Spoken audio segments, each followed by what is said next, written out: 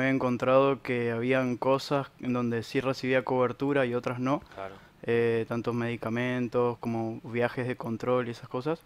Eh, entonces empezamos a juntarnos personas también afectadas, trasplantadas, y así fue que se salió la ley provincial en Corrientes, la ley acá provincial en Chaco para personas trasplantadas, también salió la, la ley nacional y también en varias otras provincias que se fueron eh, adhiriendo. Y esta ley básicamente consiste en la cobertura total del 100% de todos los estudios eh, que- y medicamentos que necesita una persona trasplantada. Eh, cubre también eh, facili- fa- facilidades para las empresas si contratan personas trasplantadas, ya que te descuenta un 70% de los aportes patronales a favor de la empresa.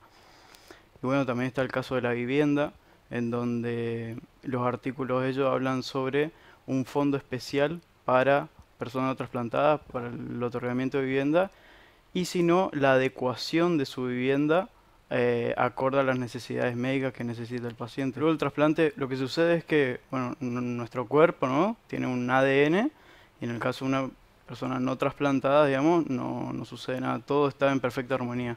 Ahora vos cuando ingresás en este caso un objeto extraño como ser un órgano de otra persona, ese ADN empieza a chocar contra tus glóbulos blancos. Entonces tus glóbulos blancos dicen hay que atacar esto porque no, es- no, Porque no es es mío. Entonces lo que se hace es se duermen esos glóbulos blancos mediante medicamento inmunosupresor. Entonces la persona trasplantada siempre está con menores defensas que, la, que otras personas. Sí, ma- también además co- de la calidad de vida es una cuestión de cuidar al órgano trasplantado, digamos, y al paciente. O sea, hace unos años que salió la, la- la ley Justina también en cuanto a beneficia en el tema de la, de la donación Claro. pero fue eh, también creciendo la, la conciencia, pero hay una realidad, una realidad total de que hasta que no te sucede, no te empapas de estos temas, digamos.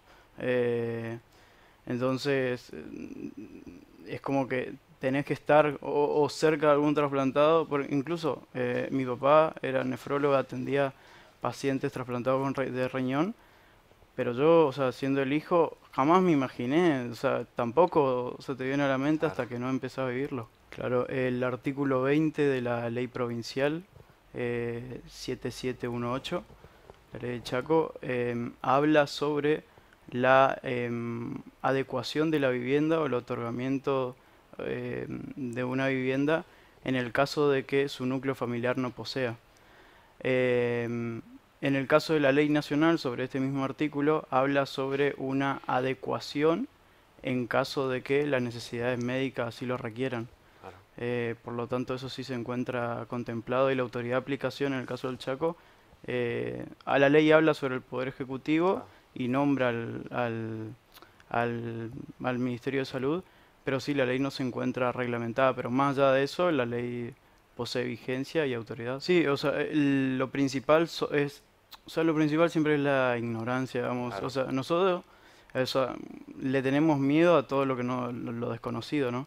Eh, y desde esa raíz es donde surgen también todos los, los mitos que hay Claro. alrededores, en donde cuando uno se pone a investigar y ver cómo funcionan, es, eh, es prácticamente imposible hasta médicamente, digamos.